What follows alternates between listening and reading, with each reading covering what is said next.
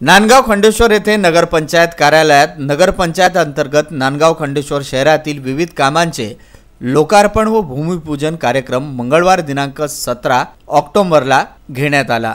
कार्यक्रमाचे अध्यक्ष आमदार अरुण अडसड विधान परिषद कार्यक्रमाचे उद्घाटक खासदार रामदास तळस नगरसेवक सतीश पटेल प्रमुख अतिथी प्रताप अडसड नगराध्यक्ष धामणगाव रेल्वे मोहम्मद जावेदभाई जिल्हाध्यक्ष अल्पसंख्याक राष्ट्रवादी काँग्रेस घनश्याम सारडा राजेश पाठक संजय सोळंके हरिश्चंद्र खंडाळकर प्रीती इखार आदींची प्रमुख उपस्थिती होते.